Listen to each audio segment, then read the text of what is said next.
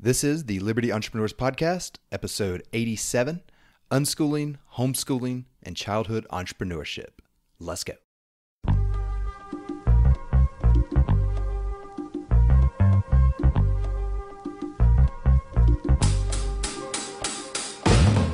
Hey, what's up, everyone? Welcome back to the Liberty Entrepreneurs Podcast. I'm your host, Ashe Oro, and I've got David Rodriguez on the show today. He is the founding principal of Valor Academy. It's a private school that empowers students to pursue their own interests and passions, utilizing the apprenticeship model. And he's also a publisher of The Underground History of American Education, Volume 1, by the world renowned school teacher from uh, New York, John Taylor Gatto. And he's got another book on the way. So, David, welcome to Liberty Entrepreneurs. Ashe, great to be with you. I'm very excited to have this conversation with you, man. Looking forward to it. Yeah, for sure. And I just want to add, I just happened to wear this pineapple shirt today, and David said that he had a pineapple shirt, so apparently it is Pineapple Day. yes. Yeah, no, he had it on, and he's. I, I got one. He said, "Put it on." I said, "All right, let's do it." So we'll have a good pineapple conversation lighten yeah. up the conversation a little bit. Right. So today we're going to be talking about uh, children and, and, those with younger years than us, David. People who are still, for whatever reasons, forced through schooling to follow someone else's passion rather than their own passions. So give us a, fill in the gaps here, David. Who are you? What are you passionate about? And, and how are you, you know, building freedom? Yeah, so the short of it, Ashe, is that my original dream was just to make a lot of money and sit on the beach and then I, as I continued to study success, I found out that truly impactful people leave a legacy. They leave something behind for their family or for the next generation. And so I started to ask myself, and of course I had mentors around me, either through books or actual live humans. And I said, what do I want my life to be about? And so after I learned about what's going on in the school system, we can talk a little bit about that with John Taylor Gatto and how schools were created to create obedient people. I said, man, if that's true, then the school system is really hurting kids because I was in school and I thought, this is weird. Like, why do I have to do all these assignments? And so I wanted to empower the students that are in schools now. And actually, I have to speak to parents because the parents are the ones who make those decisions. So just kind of deciding that's what I want to get into. Um, I started an expo called the Education Options Expo, turned into a YouTube channel. And the purpose was to introduce respectful models of learning to parents um, because they don't know these schools exist, which don't force you or coerce you. So um, that's the short of it. Uh, background in business and uh, you know some sales and these kind of things, but uh, really just trying to empower people and see people as the infinite potential that they are, which I believe. And what Buckminster Fuller said, every child is a born genius. The challenge is they get de-genius trying to please their teachers and please their parents. Mm. So just all these if inspirations around me. And when I look at children, I see like myself inside of them. I'm like, that was me when I was 10. That's me when I was like 14. Like, you know, trying to go out and do something exciting and fun, but then they shove you in the school system. And, you know, once it, we realize where it came from, we're like, oh my gosh, this is so uh, disheartening in some degrees. And uh, with some of these options we're going to talk about, I think it's going to be very uh, hopeful and hopefully inspiring for some of the parents out there. Yeah, so looking at the school system in general, just from a liberty entrepreneur mindset, you know, it's it's kind of outside of the marketplace. You you buy a house and your children go to a school that you're in the district and what's going on? Why give us some background on school in general and why why do we not pick schools for our kids most of the time like we would choose a, a daycare or a restaurant? It goes back to 1852. The first compulsory attendance school law in the country was Boston, Massachusetts. Um, California was 1874, and I think the last state in the union was 1918. And what happened is the, the state got together and also large corporate foundations, and they wanted to create obedient workers for their factories and for their products as well, you know, because that's what schools teach young children to be, is to be consumers. Whereas we're going to talk about being producers, and that's really where you can be independent. So um, that's the kind of background where the school system came from and um, and then it's just a matter of finding solutions that uh, parents can realize because it's a generational thing right? right? so like my parents went to the school system and let me just take a time out because my mom was a school teacher for 20 years and i have um, family members who are principals and teachers in the school system now so as we reveal what's going on in schools it's not to bash those people i love my family i love my mama of course and um, it's it's the system, it's the structure, the compulsion, the mandatory everything, and you're there for 12 years, and so um, you're learning habits, you're learning attitudes which limit you and kind of put you in a box. So, um, and that so it came from 18 well before Boston, it came from Prussia, Germany, mm. and these guys, as I mentioned, for um, the government purposes for the military, and they wanted this is what Johann Fichte said, the philosopher, 1806. Last name is spelled F-I-C-H-T-E. He said we have to create a system of schooling that limits the imagination of children so they can't even imagine doing something other than what they're instructed to do or what their teacher would approve of. Yeah. And so they can't imagine freedom. They cannot even imagine it. So this is where it goes to Einstein's quote. He said, imagination is more powerful or more important than knowledge because imagination encompasses encompasses everything which is or could be, but knowledge just encompasses that which is known and is. Right. So it's super important to expand your imagination. Yeah. And and what do you think about children? I mean, most children start going to kindergarten at around 5 years old. I know that has German roots as well. I of course went to kindergarten. I went to pre-kindergarten starting at 3 years old. Like mm-hmm. what do you think that this does to uh, a growing child who's full of energy and curiosity and you know can play outside for days on end? Now you've strapped them down in uh, in a schoolroom, a schoolhouse for sitting in straight lines, walking in straight lines, raising their hand. I mean, what what type of person is being, you know, like shut down inside of that child? Um, a very fear-filled person, I would say. You know, if you were three or someone's four or five, or maybe you've seen these videos where kindergartners are crying on their first day of school, and like their parents are pushing them into this building of complete strangers, whereas the first five or six years of their life they're like, hey, oh, you fell down, that's okay. Oh, you pooped in your pants, that's okay, right? All this loving support. And now you're with all these strangers. And then you got this giant stranger who's like three times your size and weight. And they're like, oh, I'm just going to stay with you all day. So from the from day one, the children are beginning to realize, okay, is this life? Because remember, this is their first time around the world, just like ours. And they're like, oh, this is life. This is a real thing. So now I'm kind of in that fight or flight mode. And so that teaches them that you have to obey strangers, right? And right. like you said, getting in lines, listening to bells. Oh, the bell rang. Now it's nap time. Uh, right. Oh, the bell rung. Now it's lunchtime. It's like, well, how about my own intuition that instructs me that I'm tired. I should take a nap. I'm hungry. I should eat. Yeah. No, no, it's amazing. I mean, they really are creating producers. I mean, not, excuse me, not producers, but consumers and just people that can fall in line. Uh, how do you see if a child I know you have a lot of homeschooling experience and you travel the country and give workshops and presentations about homeschooling. Rather than that fear induced type of child that our standardized school system creates, how are you seeing homeschoolers? Are, are they nervous to be around people? Are they scared to go out in society? Because this is like some of the, the, the common criticisms of homeschooling is that you're going your child's going to have no social experience or social life at all. Yeah. So one of the distinctions I like to make right now is homeschooling versus school at home. So what I call homeschooling is when a leader creates an atmosphere where personalized learning can occur. That's my definition of, of homeschooling.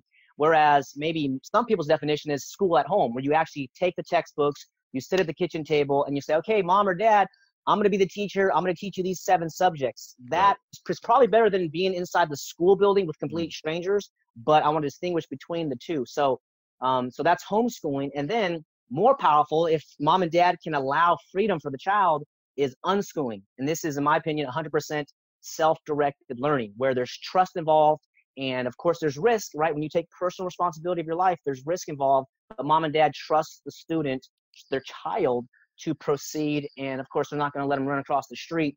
But you know, in the house, you know, these kind of things allow them to study what uh, they want to study. So homeschoolers, um, in my experience, are really kind people, really like empathic, compassionate people. And of course, you have the socialization question. And how I normally help parents realize is that socialization is a weird word that even in public schools, you're not allowed to talk, right? Like you're in a project, you're in a test. If you ask your buddy, hey, can you help me with this? Yeah. You're cheating. yeah, you're literally cheating. Asking for help is cheating. Like like so, when does a business person not ask for help? You know well you're not going to do it that often because you can't do everything yourself. I mean building teams and building your network how many times have you heard that your network is your net worth? Well in school they do everything they can to prevent us from networking to help each other. Whereas yeah in homeschool um, I, I, imagine unfortunately i wasn't homeschooled but you and, and uh, your circles I, I read a lot of what you guys produce and it just seems that all these criticisms being laid against homeschoolers um, are they just by people who have vested interest in the public school system? Or like why why would people come out so angrily against homeschoolers? Beautiful question. You know why? Because it's a super large business. Conservatively the k-12 public school budget is 600 billion dollars. Mm. i've heard some estimates 850 billion and some people put it at a trillion. Regardless of what the numbers it's massive. And guess what the largest union in the country is? The teachers union. Mm. this is the national education association followed by the american federation of teachers. Right. so it's supposed to be about the kids and i know there's sweet loving people inside these systems. However when you start playing with somebody's money just like you play with your money or my money it's like ooh you know i was planning on a lifetime pension and lifetime medical and now they're trying to shake it up and you know if you see some of these documentaries like uh, i think waiting for superman is one of them where this young woman, and I think she's 30s or 40s, just full of energy. She wants to go reform the school system, I think in New Jersey. And the union was like, nah, we're going to keep all these poor performing teachers. Um, so, uh, and like they walked out of the meeting. It's incredible. Like they wouldn't even have a conversation. They wouldn't even have a vote. So it's a massive business. Publishers are making big money. Bus manufacturers, the food, you know, baloney business, oh, trash yeah. business, the, the milk the, business, the pizza business, the school textbook business, the pencil business. I mean, there, there's a lot of there's a lot of consumers down there when, whenever you force this. And, and look, we're not trying to say that all teachers are bad. Actually, my mother was a substitute and assistant teacher for years, and she drove a school bus as well. So we're just spe- specifically talking about the system you know and not all teachers are bad speaking of one really awesome teacher john taylor gatto who who is he how significant is he in just your influence and just what he's doing john taylor gatto is to education like michael jordan is to basketball man or like lebron or kobe whoever you like he's a, a real champion um, he taught in the public schools for 30 years in new york he retired at the top of his game two-time state teacher of the year. State teacher of the year in New state, York. Yep, state. I got copies of the documents and everything. It's incredible. And the reason he got that award because his students, his eighth grade students, were going out and winning all these different awards, writing writing contests, essay contests, starting markets, um, going and volunteering, true volunteering at the homeless shelter. Eight of his students ran the homeless shelter and just story after story. You check out some of his um, stories on John Taylor Gatto TV on YouTube, but um, he just has so many testimonials, and I think he taught me about 1,500 students. But he was such a champion that in the beginning of the year, he would sit with his students and say, "Hey, Susie or Johnny or you know whoever you are, what would be something interesting that you could get excited about for the next nine months? Mm. What's hmm. something that you're interested in?" And some guys want to learn to write comic books. Some girl, her dream was to be an Olympic swimmer. So she ended up creating some project around um, all the local swimming pools and resources and that. So there's all these different things that he has done. And then he, at the top of his game, he basically made public speeches and did an op-ed page in the Wall Street Journal. And he said, if, if you find a profession where you don't have to hurt kids, let me know because I'm done. This is my final year. And so mm-hmm. that's what started his speaking career. Um, he started getting speaking opportunities all and over the country. And now he champions what? Now he ta- champions, well, self directed learning. He calls it unschooling also, but um, there's actually a great speech called Open Source Learning. And his great quote, which I'm going to share as long as I can, he said, Teaching is not a profession, it is a function. Anybody with something to share, something to offer, can be a teacher. So that was his whole thing. And he wrote a book called Dumbing Us Down um, Weapons of Mass Instruction. Um, I helped publish The Underground History of American Education. And he is like top of the integraful type situation. And I'm working with him, as I mentioned, the publisher. And this is maybe a two years ago or so. I say, John, I think people are interested in you. Like people, you have a like a strong core fan base, and they want to mm-hmm. know who you are. Can we do a biography? Yeah. At this point, still, he's like, no, I'm not comfortable doing that. And I was like, why? Like you have such an interesting life. He talks about his life in Pennsylvania and so many cool stories.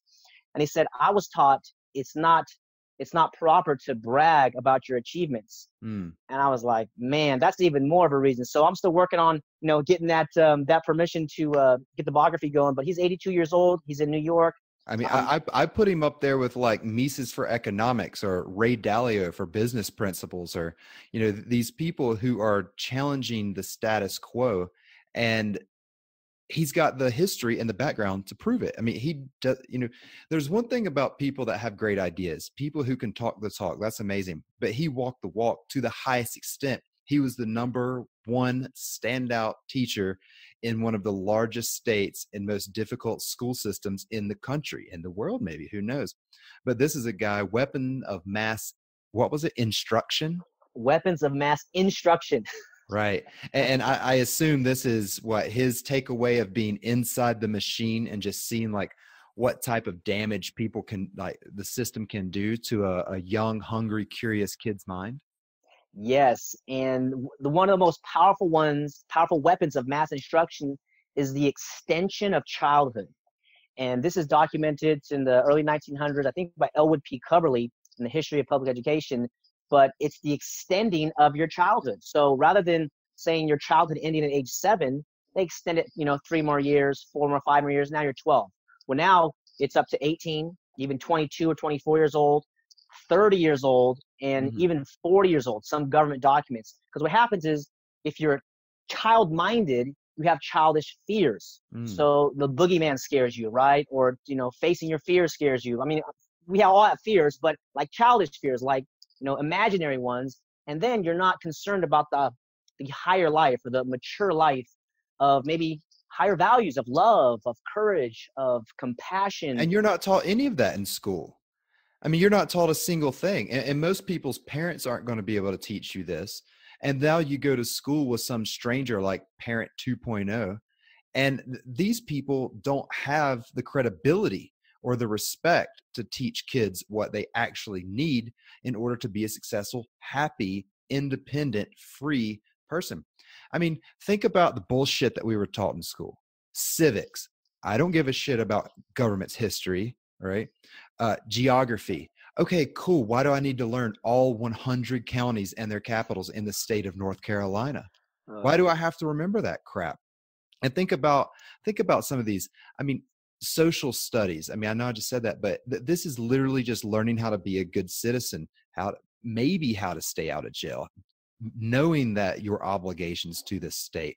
I mean, even stupid classes like English. Like, I don't care about Edgar Allan Poe. I don't care about any of these writers. I, am a mathematician. I'm a scientist, right? I'm somebody who wanted to be an astronaut, not somebody who wanted to give a 40 minute presentation on Edgar Allan Poe's entire history, his childhood, his parents, everything he wrote, why. I mean, what is this nonsense? Is this just is this just where socialism and socialized goods go over time to please not their customers, the the, the children, but to please the people in control of the state? Correct. Yeah. So since we're on the Liberty Entrepreneur podcast, yes, we all sir. are aware of the state right? And so, you know, understanding the left right paradigm or individualism versus collectivism.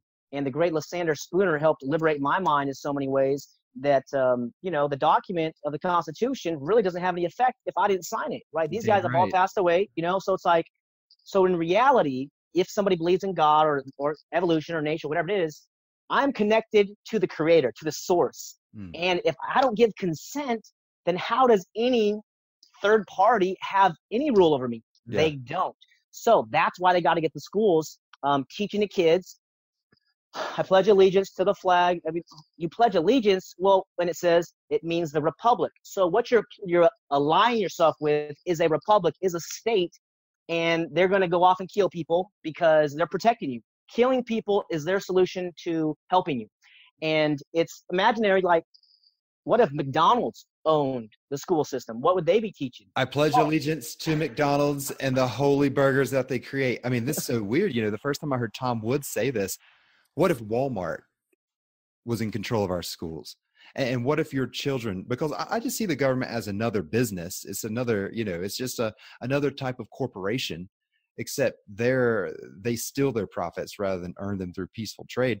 But well, yeah what if mcdonald's owned all the school systems and and it was just kind of socially norm for you to send your child to mcdonald's? Do you think they would teach your children to be entrepreneurs or burger flippers and cash register workers? You know that's what the government does they're, they're just teaching our children whatever the hell it's it's a propaganda camp isn't it? You you drive by a school and you can't sometimes you can't tell if it's a school or a prison. Like, so let, us spice it up a little bit. We've got these pineapple shirts on here. Okay.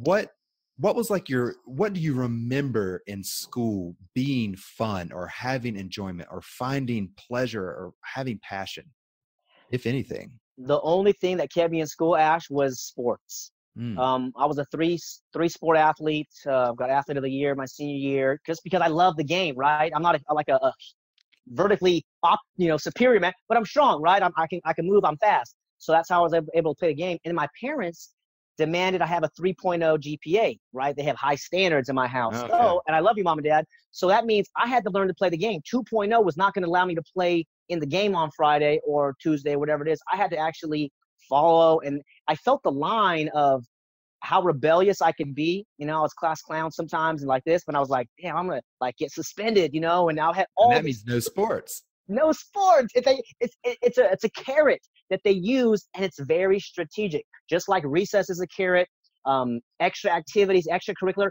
Oh, you nope, you didn't do your homework. You're not going to go on this on the field trip today. Right. So it's all this, you know, B.F. Skinner, um, operant conditioning type stuff. So it was really sports um, bus rides, you know, going to sporting events, coming back, you know, having a good time, ripping it up with the fellas, um, you know, seeing some nice girls and everything. But it's like there's really sports and trying to have fun in the middle of like having to the do obligation. a mandatory. Yeah. Oh, the obligation. For some reason, I think in my mind the eighth grade um, report of doing the Oregon Trail about the people that came from the East Coast to the West Coast, and I had to do this report. I'm like, and who cares? I don't shit about that at all. Like zero.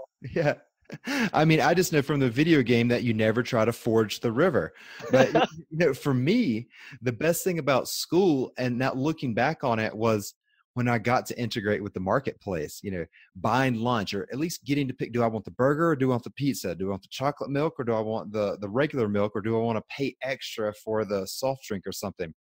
Or like the book fair, I, do I want this pencil? Do I want this book marker? Do I want this notebook? And even like buying ice cream, just having like, I remember feeling free when I got to make my own decisions as a child. And I got to make my own decisions only in school whenever it had to deal with money for some reason. And you know, at the book fair, at at the at the carnival or, or whatever it was. And looking back on that, nobody ever said anything about like hey what was it like going out and like going to the book fair and being able to freely purchase whatever book you wanted you know because all the other times where you're going to learn this and you're going to learn this at this time for this amount of time and then when the bell rings you're going to go learn this and learn this. But it's just so interesting what, do you think happens like let, let's say public school starts to become less and less popular and more more parents or even a, a collective of adults in a neighborhood or so decides hey I, I think i can i can homeschool not school at home but homeschool or if more parents are able to unschool, which is literally you just living with your kid and experiencing life together, what do you think would happen to children if that was the environment that they grew up in? I think children would be happier, parents would be happier. There'd be more, probably even these kids starting businesses, you know, selling like lemonade, you're right? You're seeing uh, situations where these guys are getting shut down because they don't have a lemonade permit. Like there should be a hot chocolate stand. There should be a lemonade stand. They should be selling their, their baked goods. That should be on the street, you know, sharing like this. So I think there'll be stronger relationships and people, young people, young kids, teens, they'll be independent earlier. As I mm. mentioned, you know, by the time you graduate 18, like I remember this, my senior in high school, they had this virtual business class, and I was so burned out. I was like, I don't care about that, man. But I'm like, that was like one class that I should should have took. But by that time, I was just so over it, man. Like I just want to be done with this. Out of here Oh man, eighth grade graduation. I'll give you a story too. Was that I had my gown on and uh, someone was congratulating me. They're like, "Man, congratulations on graduating eighth grade." I had my cap and everything. And I was just like, "I'm not even happy, dude. Like, I got four more years. This is not graduation. This is like yeah. a timeout. I got to get back in the game." So uh, it's so exciting to consider where homeschooling came from. You know, back in the 70s, uh, 60s, and 70s, it was illegal. So Ooh. I have a lot of hope in the homeschooling movement because mom and dads are passionate. Also in California, where I'm at, they have mandatory vaccines if you're going to put your child into the government school system. So um, that's a huge um, aggressive move by the state. And so that's what also inspired me to get into the, the homeschool training business, which is a new thing to like help parents understand what's going on. What is an education? How can you do it? And um, and then you know like what are you gonna do next? You know this is just a, a process. This is not like an end outcome where like the public school. If you get into Harvard or Yale, they're like, man, you have succeeded in life. That is the way to go into college. Not that you've created any value, but you've learned the system. You you became a customer, and yeah. you're probably going to pay fifty or sixty grand a year to get um, this piece of paper right here. And then you still guess what? You still got to go get a job or build a business or give value to somebody. Yeah. You don't need this piece of paper. So in a homeschooling um, school or unschooling environment, they're like, you don't have to wait till you're 18, 22, 30. What do you want to do right now? Right. And you, you won't hear very many homeschoolers ask, you know, their child, what do you want to be when you grow up? It's like, what do you want to be now? You know, yeah. what are you interested in now? Like screw when I grow up. Like I don't I don't know what I want to be when I grow up. I still don't know what I want to be. I'm I'm on like my fourth career now. I don't know what I want to be when I grow up. Yeah, it's amazing like that's really the only question that parents or teachers ask children back in, you know, when they're young. It's like, what do you want to be when you grow up? Well, well, how about you ask me what I'm feeling now? Or how about you ask me what I'm passionate about now? Or like, where's the curiosity with the children in public school? It's not there what have you found like when you go around the country what what type of energy are you feeling at these at these uh, unschooling and homeschooling conferences? Are they small? Are they big? Have you noticed growth? Is there media there or? Yeah no media uh, but a lot of energy. There's a lot of passionate parents who have basically drawn the line in the sand for whatever reason. Sometimes it's religious reasons. Sometimes you have religious people and they're like you can't even pray in school. You can't even say god so i'm taking my child out for that reason and they are growing and more and more pa- parents are taking leadership which i think is the best thing to do you know this is when i lost hope in the whole system with ron paul getting his election stolen i'm like no savior's coming man. If there's a savior you know what i'm saying? It's you in the mirror it's me in the mirror whoever's listening take a look in the mirror say i love you i believe in you let's do it together man yeah. because building that leadership community i think is the way to go and these these uh, conventions are continually expanding and it's basically at any age that I meet these children or teens with parents, it's like it's a good age to remove them. Ideally, you know, maybe like seven or eight, you know, you can begin that process or just allowing them to learn. But by the time they're 12, 13, 14, we're talking sixth, seventh, eighth grade, if they haven't been allowed freedom to pursue their interests, freedom to pursue their passions, it's hard to ignite that. Mm. And it's, it's a, it's a sad thing, but a great question parents could ask is, "What's your dream?" Or, as Napoleon Hill talks about in the book Think and Grow Rich, "What's your major definite purpose in life?" And that's mm. such a major question. It takes time. You got to let that question like resonate and kind of be in the dirt for a while, and let something sprout up because that's like a, a future long thing. But that question, that purpose, you know, just like my phone has a purpose, this computer has a purpose your life has a purpose. So does mine and the listeners. Your life has a purpose. So if we can begin asking that question to our children at a young age, they can sit with that and maybe five years later they're like, yeah, I think I want to do this. I want to help out humanity in this way, and that causes a lot of passion and excitement for them. Yeah, with without taking up their mental cycles, learning the you know the crap that is in the curriculums. What if children just could sit around and think and play and be curious? You know we're taking away like public schools take away the best part of being a kid freedom curiosity more energy than you know what to do with you don't want to sit still. Like kids kids don't naturally just hate each other. I, I i notice kids everywhere i go and they'll just it doesn't matter if they're short or tall or you know with some age difference or black or white or it doesn't matter. Kids just like go up and like hang out with each other. And then you grow up and you're you're taught to like fear you're taught to fear the outside and you get conditioned to be ordered around by a, stranger a teacher which later in life of course it's not that uncommon whenever some stranger like a cop comes and orders you around or a politician or you know riot guard police or whoever.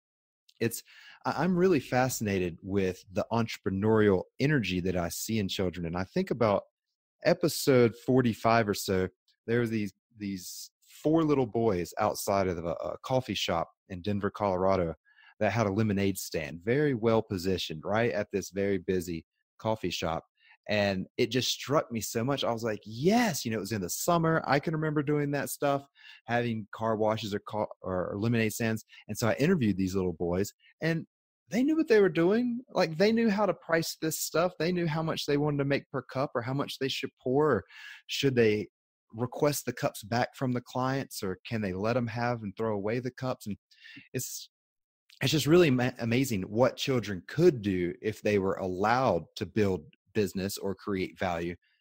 But I want to get your opinion on this. Do you feel that schooling, compulsory schooling as it stands today, was created out of a desire to limit competition with like workers, factory workers, field workers, stuff like that? Because a 10 year old, 12 year old, 14 year old kid can create a lot of value. And maybe some old guys don't want that new, fresh, young competition beautiful. Yeah, you're talking about overproduction or over education, as they spoke about it in the over. Uh, I think William Torrey Harris said that word.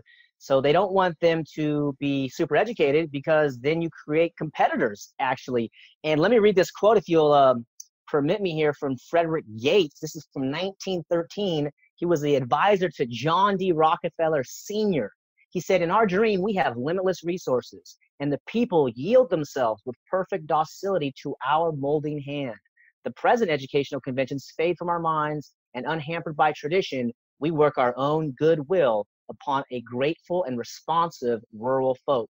We shall not try to make these people or any of their children into philosophers or men of learning or of science. We are not to raise up among them authors, orators, poets, or men of letters. We shall not search for embryo great artists, painters, musicians, nor will we cherish or nor will we cherish even the humbler ambition to raise up among them lawyers, doctors, preachers, statesmen, of whom we now have ample supply. Right.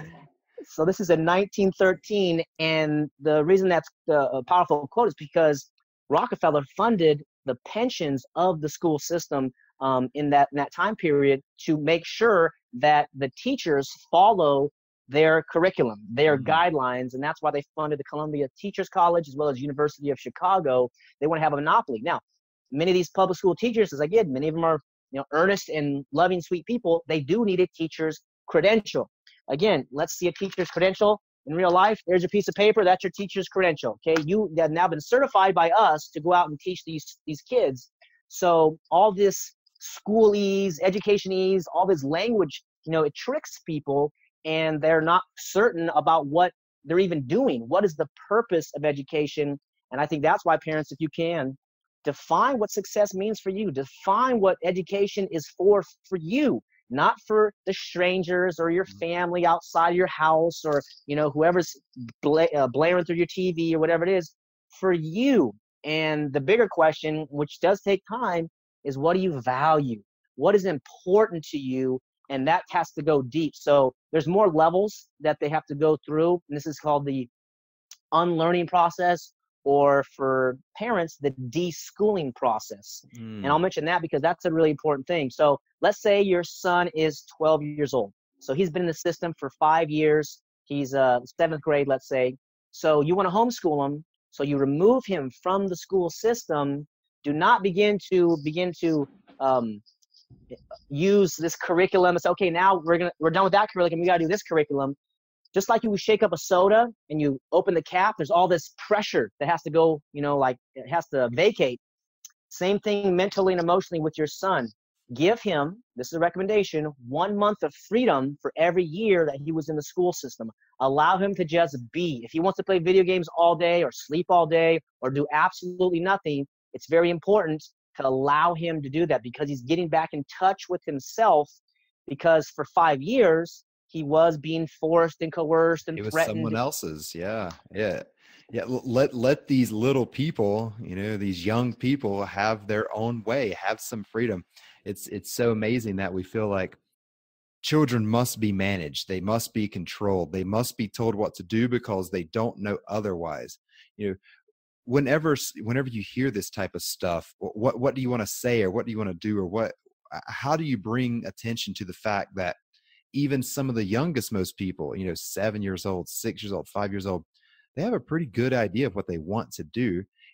How how do we give children that type of freedom? How do we extend human rights and property rights to children? I think one of those powerful suggestions is to teach them they own themselves.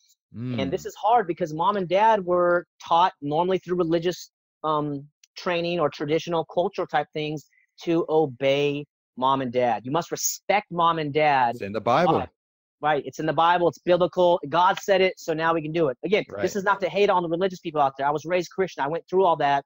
And then I started to realize what are all these factions telling me what to do with my body and my life. Right. And you know, once I came to that realization that I own me and you own you. If we want to engage in business or engage in some type of way, let's shake hands, let's do a verbal contract, let's do a written contract, and let's engage. So um, one girl um, who I saw, she was do, practicing with her son, who was six years old, or maybe it was five. But anyways, she said, um, "Son, is it okay if I pick you up?" And he was like, "Yeah, pick me up." And I asked her, I said, "Do you always ask like that?" And he's like, "Yeah, he's, I'm trying to teach him about um, his personal space. And yeah. you know, like I don't just come up and just grab adults and just like you know go like this. I ask, and so little things like that to help them realize they are the the powerful self-owner, sovereign one, whatever you want to call it, um, from a young age, and then they can begin exercising their language, asserting their rights. Hey, you don't mm. have a right to touch me. Right. And the kid's eight years old. What's a, what's an adult gonna do? They're gonna say, "Oh, yeah, you're right. I can't touch you." Yeah, and, and for the record, David will sneak up on you and give you a bear hug. So anybody in Acapulco, watch out. Um, for sure. See you in Acapulco. yeah. Well, when you're talking to some of these parents who are just learning about unschooling or homeschooling, you know, what are some of their major concerns or, or even maybe criticisms, but mostly what are their concerns of maybe inadequacy or unpreparedness and stuff like that? The biggest concern we touched on briefly was about socialization. So helping them socialize. And so you just take them to different classes, have them interact with people in general, the grocery store, the library, the volunteering at the local whatever, you know, food uh, uh, kitchen or wherever it is, anywhere, you know, businesses, stuff like that, socialization. The other one is they don't they lack the confidence to do it. So they'll mm. say, I want to homeschool, but I was bad at math, so right. I can't homeschool. So again, this goes back to the paradigm of what is education, because a 10 year old who's not interested in math, he doesn't need to know. And if he does need to know, there's something called the internet. You can use Khan Academy, you can use YouTube. There's all these different resources. So the other part is like mom and dad not having the confidence to do it. And I think one of the biggest ones, which I have a few ideas for, and it's really like the $600 billion question, I would say, but it's coming, is I have to work outside of the home. So that's valid, right? Maybe mom and dad are working or a single right. parent.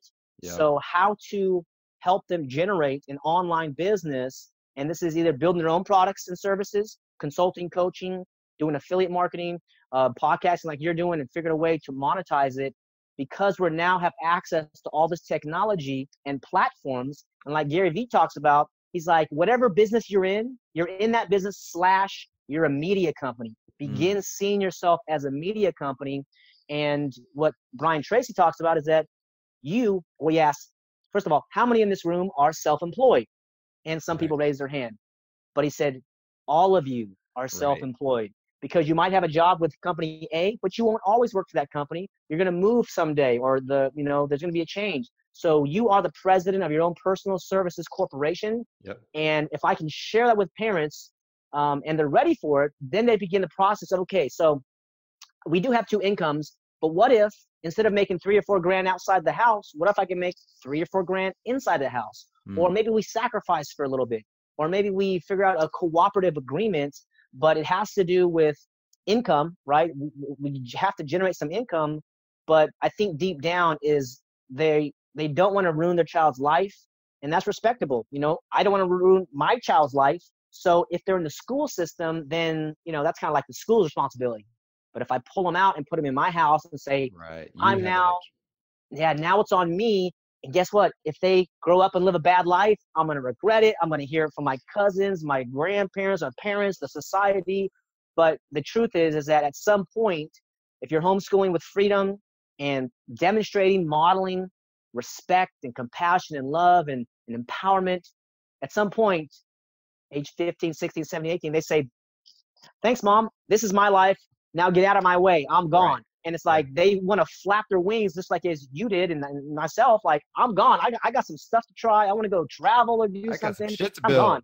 Yeah. Yes. Like I, I got to get out of here. I couldn't wait to leave. I mean, think about. I mean, and if anyone needs proof, I mean, think about the last day of school every single year. Like you couldn't wait. I used to. I used to have this little thing where I'd throw my backpack up in the yard and just leave it out there, hoping that it rained. You know, it's like prison is over. You know, one of my friends, she has a 13 year old child, and her her kid, her daughter, um, calls literally calls school prison and she knows my stances on public school and she never wanted to tell me for the longest time that her child called school prison.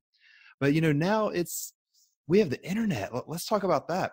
Back back in the day like any government program they're usually pretty effective at the beginning and then as socialist programs age the inefficiencies start to catch up with them and the product that they create in this sense you know schooling or i guess you could call it education uh, for children starts to degrade over time because there's not those mark that market feedback loop to keep it good. But now we have the internet, the Khan Academy, you know, Ron Paul's homeschool curriculum. You know, what what are you seeing now? I mean, I know we grew up in this digital age, but just think about what do you th- what do you see is going to happen with all these new possibilities now to compete against government school? Because I don't think we're going to shut government school down, just like we're not going to audit the Fed and shut the dollar down but we're going to compete against it. What are you seeing like with children or with parents that already have all this, for the most part, free resources? Yeah, the, the Buckminster Fuller quote was that you never change reality by fighting against it. You have to create a new model that makes the old model obsolete. Mm. So I have no hope in you know political reform for schools. It's just to help to remove them from the school system so they can do something better. And then one of the tricky words also that a lot of homeschooling parents will hear is the word curriculum the word curriculum didn't even become a big issue until the 80s when more parents were removing their children from the school system and the school was scrambling because the schools get their money based on average daily attendance ratios percentages that's why you have a truancy officer when you miss three days of school or you're tardy you get the robocall your son was absent today da da da because they don't get the money from the, the districts don't get the money from the state so it's a massive business and if parents can distinguish between schooling and education, as mm-hmm. Gatto taught us, schooling is what other people do to you. Right. Education is what you do to yourself. Yeah. And also the root word of education, educo, the Latin, means to pull from within or to draw mm. out. So this is why I named my academy Valor Academy for two reasons. One is that you're already valuable the way you are. You don't have to jump through some hoop. You don't got to pass this little test and prove your intelligence. I believe every person is uh, genius and intelligent, you know, brilliant in their own way. And the other reason was that valor. Valor, you know, synonym for courage. If your child can begin to value themselves, self worth, and then develop courage, their success is almost guaranteed in life because once you know that you're valuable and you don't need someone's approval, you don't got to get a gold sticker, you don't got to get a smiley face on your piece of paper to feel, yay, I'm good. You say, I'm good the way I am.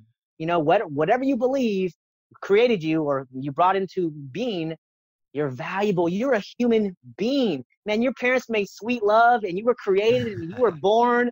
It's like you are important. And I think every child, if they could hear that, you know, just every few days hear that you know like it's not about the grades and tests and scores it's about you connecting with yourself learning about yourself if you can't think about you know how you want to serve other people give value to humanity and then have a great life you know have fun you know fall in love or go build some art or some business or something great and enjoy it because it's just a fast ride. So um, I recommend parents do that if they can. Yeah. So your your upcoming book, it, I like the very the first two words, the apprenticeship. How to get a real education and solve the crisis of public schooling with a proven, affordable method. In a free society, in a free market driven educational apparatus system, whatever, it wouldn't be a system, but if the if the marketplace was in charge of education, what value or what significance do you see with the apprenticeship model?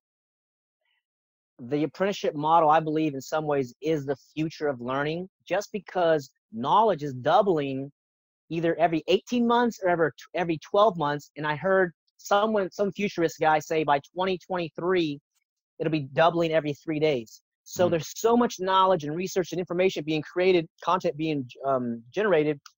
If people don't stay up with it, then they're going to get, you know, left behind. So everybody's in the education business, in my opinion. So whatever your ambition is, however you want to serve humans, um, young student or mom and dad with students, um, they're going to want to connect with somebody who knows the business, right? So this goes back way back, you know, whether you're a cobbler making shoes or a blacksmith or uh, agrarian farmer or something, if that person is making a livelihood doing whatever he's doing, and I'm a 12 year old, 13, 14, 15, shoot, even 18, I can go give him my energy. I can give him my labor. I can give him my time. And if he's looking for that, we now create a win win relationship. He gets a volunteer, and I get an expert in the field I'm interested. Now right. you can do a one day apprenticeship, you can do a week or a month, and there's various ways conversations they have, set up a contract or an agreement because it's got to be a win-win, right? They don't want to work with somebody who's you know negative or vice versa or mean or whatever it is. Sure. But once you connect with an expert and then the the amateur, the apprentice who wants to learn, there's this synergy that's created.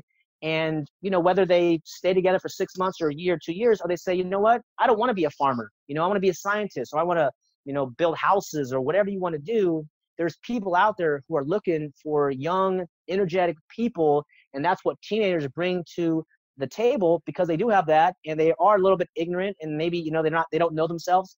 But if they have an intention, just a, um, a clear intention or purpose for being in this area, like I want to help people, you know, build houses or you know, cure water. There's this young guy, I think he's in his 20s now, but he's created some solution to all the plastic in the ocean. I just saw an article about it, and it's like he's now removing like 500 pounds or 500, I don't know, 5,000 pounds of, of plastic from the ocean every day, not for money, because he cares about the planet. And he, he actually can do it. Yeah. he can do it. Following passions, it's always amazed me how we always tell children they can grow up and be anything they want to be and they need to follow their passions but when it comes down to it we don't let them follow their passions and i say we you know i don't have children but i was a child one time and i know that i did i couldn't follow my passions. But imagine if you were even starting at the age of 12 or maybe 10 let's just say 12 where you're in school for at least another six years and if you had you know if you had two internships for each of those six years you could have a taste of 12 different careers in the same time it would have taken you just to go through a couple of years of school where you graduate and you're not really any more employable employable than when you came into school. It's just you know this is why i've had two of the team members of discover praxis the the internship or mentoring um, alternative to high school and college because i just believe in this apprenticeship process so much like my grandfather owned a harley repair shop and i can remember going over there a couple times and working with him to break down engines and stuff like that. And I thought that was so much cooler than going to school and, and learning, you know, where Czechoslovakia was. Well, I don't even know. I don't even think there is a Czechoslovakia anymore. But I had to. I had to learn that back in the day. Um, how can people learn more about homeschooling or unschooling?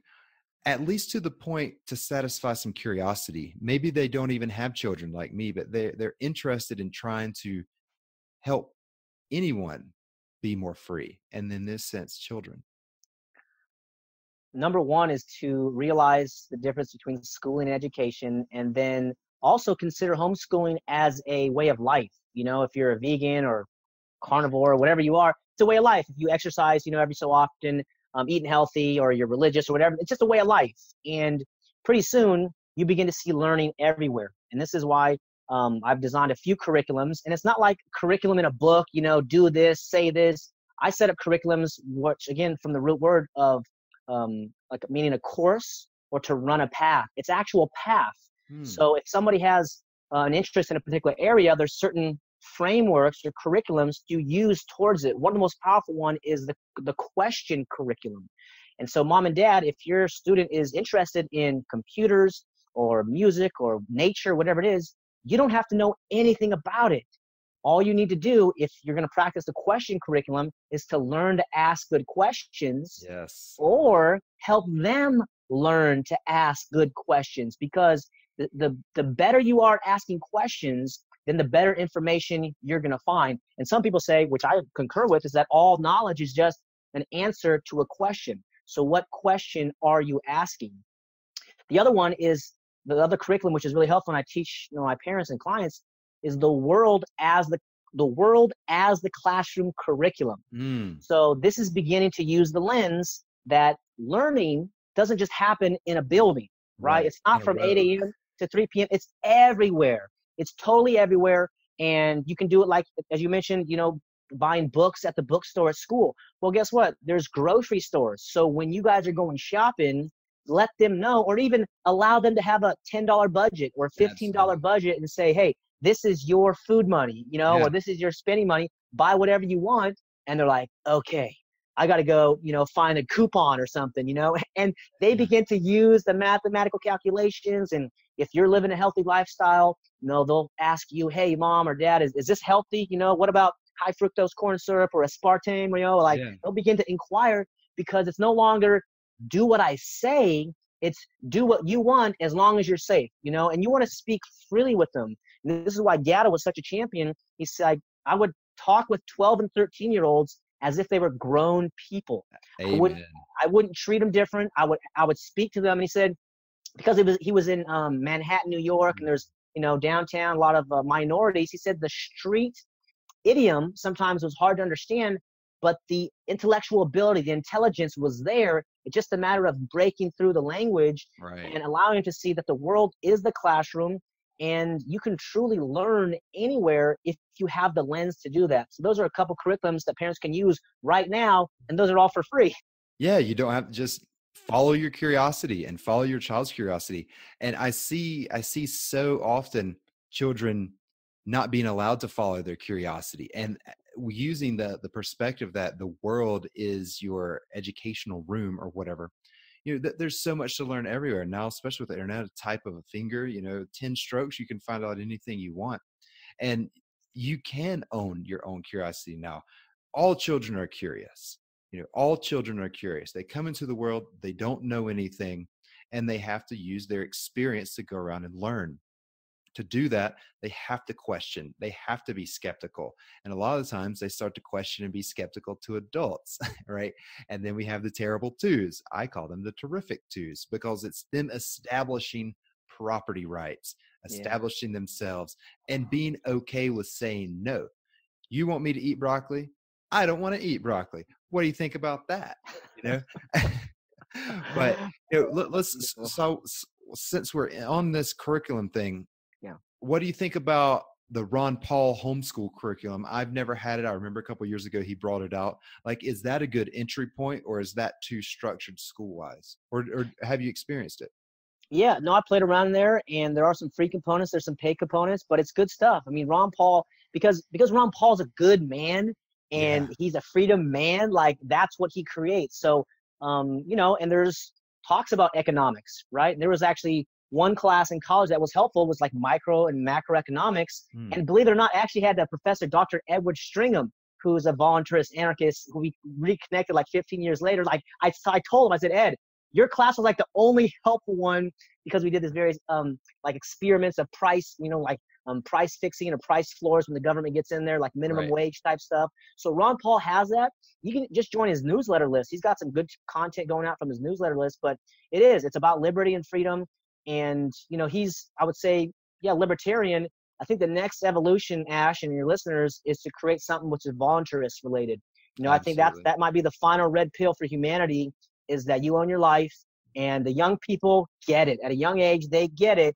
And they do have a certain amount of authority that you and I don't have when dealing with adults. If you have an eight year old or a 10 year old, or maybe you saw the 13 year old girl who presented at the United Nations, mm. this is maybe 10 or 15 years ago, she laid it down. And what are you going to say to a 12 year old girl who's laying it down at the United Nations saying, you know what? You guys are wrecking our world and you need to stop because you can't fix the problems that you're starting. So, yeah, Ron Paul's the man. I got a lot of respect and love for him. He actually did the foreword on the book, The Underground History of Education, American Education, with Ron um, John Gatto. So, yeah, check that. That's a good curriculum.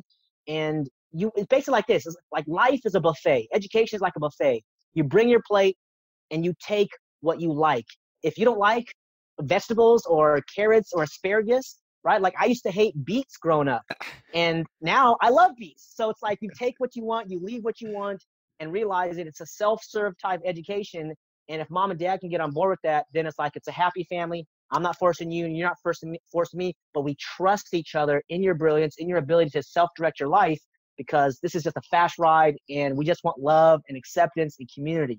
And we don't necessarily need the government telling us what to learn and where to go and what time we need to learn and what day we need to learn and what subjects we need to learn and what tests we have to take and the crap we have to memorize. It's it's as anti entrepreneurship as I can imagine schooling is as it currently stands right now. Uh, David, man, I appreciate you so much. You know, understanding the role that children play in forming their own free lifestyle and giving them the options to create their own free lifestyle and to own themselves and to own their thoughts and to create compassion for themselves and all the things that we later in life learn that are so significant to being a full fulfilled happy person. I can't think of a single thing that I learned in public school specifically that helped me achieve these things uh, most of the time it was things that like you said i had to unlearn. And what you're doing in trying to help spread a perspective of first it's just respecting children. When it comes down to it it's respecting children and it's respecting what they're interested in and what they're passionate in and not pushing ourselves onto children in any way be it you know how you want to tell your children everything or you shove them off to school but it's it's really having that human to human connection and allowing someone to learn to express themselves rather than us telling smaller people, children, what they need to express or what they shouldn't express. Um, David, if you'd like to leave us with any tips or how to get started or books to read, videos to watch, presentations, role models or idols of yours, people who are also in this camp of uh, of producing free children like maybe Dayna Martin? Just what can you drop on us? Where's our next step here? Yeah, Dayna Martin's a champion, awesome radical unschool um, teacher and parent. John Taylor Gatto is a stud, in my opinion. Um, I have a Facebook group called Homeschool Leader, where the purpose is to train peaceful parents to homeschool successfully, have peace of mind, have confidence, and really, those are really great places to start. You know, you don't want to drink from the water hose too early what I would say is just begin to realize that what schools is designed to do is to create obedient people. I wish it wasn't so. Please look into John Gatto, look into Ellwood P. Cubberley, some of the, the, the resources there, and begin to convince yourself because I'm not here to convince you. I'm here to show you solutions which mm. will make the, school, the current system obsolete. And, you know, we might not change the whole system, you know, in the next 5, 10, 15, 20 years. And, you know, who, who wants to? It's about your child. It's about mm-hmm. one person, or you have two children, or three people. That is your little tribe. That's your your family, your love, your flesh and blood and DNA. And if it's an education that they're after, then they can find it anywhere. Yeah, and find it. They're gonna find it. And also the last part is like if they're in public school and you're still struggling to withdraw for whatever reason, I support you. I encourage you. And you can even have a conversation with your child about the school system. Imagine that. Yeah, and say, hey, here's what's going on. You know, I'd love to withdraw you so you can be home and like, you know, self-direct and do that. But I'm working a way to do it, you know. Like, and what do you um, want? Like, do you want to stay in school? Why do you want to stay in school? Do you think you'd be interested in not going to school? What do you think you would do if you weren't in school? What would you want to learn? It's just like, like, yeah, learning's everywhere, man. It's it's a beautiful thing, and you know, we libertarians, voluntarists, uh, people who understand the the root of who the state is. Uh, I'm, I'm so proud of you and everyone in this movement, this revolution of education centered around freedom. David, how can people keep in touch with you if they'd like to learn more? Yeah, you can join the Facebook group. You can email me um, at info at thevaloracademy.com. That's thevaloracademy.com if you want to do some coaching or consulting. Um, I can graduate your child early if you want to graduate them at 13, 14, 15. I just graduated this 15 year old girl um, who was really doing well in school. She was bored. And she's like, I said, okay, here's we can graduate you. What do you want to do? She's like, I want to study real estate. Great. You have a mentor? Yeah, I like Tai Lopez. Great. What else do you want to do? I want to start a YouTube channel. Great. So she started, she's making videos. So whatever it is, because the school system hurts kids, I want to help you, mom and dad, however that is. Um, if you can put 40 people in a room, you invite me to your city on a weekend. I'll come out and do a, a workshop like I'm doing in two weeks in North Carolina, whatever it is. Um, this is really important. And it's basically just success training for the young, having a conversation. Uh, take a look at the John Taylor Gatto's YouTube. But uh, yeah, email me. We can chat. Join the group. Support Ashe and what you're doing here. I really appreciate you put me on because you've been doing it. And this conversation, as we mentioned, is so important that young people learn to basically create a product or service and sell it. And you don't even have to do it for profit in the beginning. It's just starting that process of giving value. And then the high level, because I have a business degree, but it didn't help me. Here's the high level of business generate some revenue, minus your expenses. You're left with a profit. You're now a business entrepreneur. I encourage you to own your, own your life, see yourself as the president. Connect with me, stay connected with Ashe, and maybe you'll see us in Anarchapulco your freedom worldwide. You for sure see me down in Anarchapulco in February. I hope to see a lot of my listeners down there. David, I know I'll see you down there. Jeff Berwick, all the good guys. Uh, thank you so much for coming on the show. I mean, I don't need to say it. Everyone listening knows that you're a Liberty entrepreneur. Thank you so much, David. And to everyone listening, until next time, keep building freedom. We're out.